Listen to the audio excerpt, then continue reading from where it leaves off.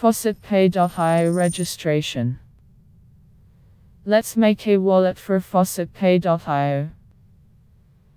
This is the website of Wallet FaucetPay, which you can use for 12 different coins Bitcoin, Ethereum, Litecoin, Bitcoin Cash, Binance Coin, Zcash, Dashcoin, Dogecoin, Digibyte Coin, Feyorra Coins, Tron and Tethercoin. Put your name and your real email address, repeat your email address and create your password. After that you need to accept the terms and conditions and solve the CAPTCHA. Your name or nickname. Your email.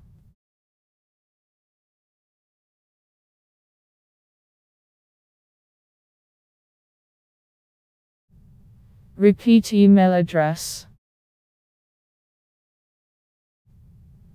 Create your password.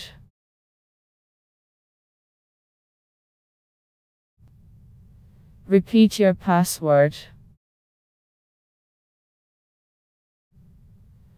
After that you need to accept the terms and conditions and solve the CAPTCHA. Pedestrian crossing.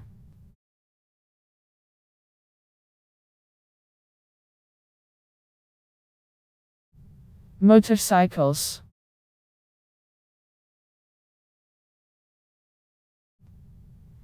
Now you need to sign up. Now your account was successfully created. Please confirm your email address. Let's go to check your email. Now we see the link to confirm your email address. You need to open this link in the same browser where you created this wallet. When you open that link next you need to log in.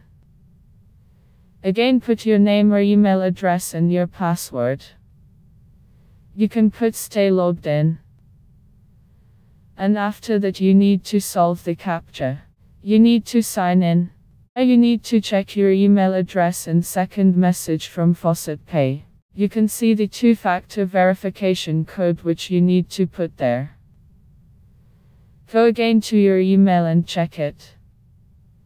Now we see a second message from Faucet Pay with the verification code.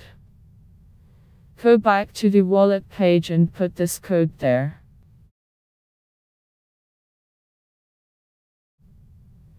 Click to log in me in.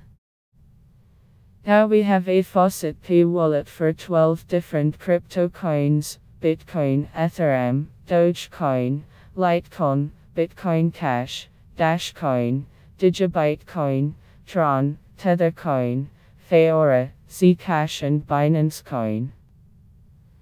Now we need to copy the crypto addresses from the coins. Let's go to the deposit page. There we need to generate and after copy the crypto numbers of the coins. Wait for a few seconds and you will see your crypto addresses. Ethereum crypto address you can copy only with MetaMask. How to do that I will show you in the next video. Now we have a Faucet Pay wallet and Bitcoin crypto address. See you in the next video.